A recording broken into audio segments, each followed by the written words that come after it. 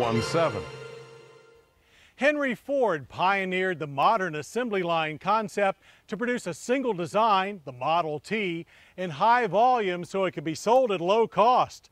And that's the way most assembly plants operated for decades. One design and lots of them.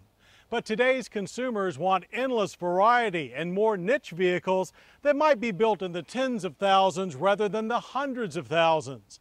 And that's fostered a new way to build cars known as flexible assembly. But we wonder just what makes a flexible assembly plant, well, so flexible. And we ended up in Chicago for the answer.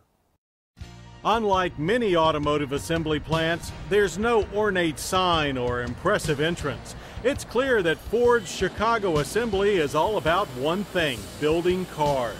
And they've been doing that for 80 years. Chicago Assembly began building Model Ts in the 1920s and built the popular Taurus until last year. Today, it is Ford's oldest North American plant, yet it now boasts their newest assembly technology. Chicago Assembly was Ford's first flexible car assembly line able to build different vehicles on one line. Both the Ford 500 and Mercury Montego sedans are built right alongside the Ford Freestyle crossover utility vehicle. While they all share some basic components, above the wheels the differences between the Freestyle and the sedans are almost total. You can't help but feel small when you first walk onto the assembly line floor. Before you is over 3 million square feet of space with some 8 miles of assembly line. On this day, we walked every foot of it and then some. At first glance, we really didn't notice a lot of difference between Ford Chicago Assembly and other plants, except that is 500s, Montegos, and Freestyle utilities stream off the line all mixed together at a speedy pace of up to 70 an hour. What keeps that pace going, and indeed is the heart of the flexibility of this plant, is in the body shop. Here, mammoth computer-controlled welding jigs are used to assemble the chassis for each vehicle. Once the jig is in place, an army of robotic welders goes to work in a perfectly choreographed dance to build up a unitized chassis. There's a different welding jig for each body style. They move along a rail system, sliding into place as needed. Currently, two jigs are being used, one for a sedan and one for an SUV. But the plant can add a third jig for yet another body style for the capability of producing up to eight different models. It cost Ford $400 million to make this plant their most flexible, and plant manager Anthony Hoskins thinks consumers will find it was worth every penny. Flexible manufacturing to me as a plant manager really means giving us the capability of building what the customer wants when the customer wants it. So if we're building product A and product B has a higher demand, I can actually flex my tooling to give me more product B down the same manufacturing line with the same tooling with the same people.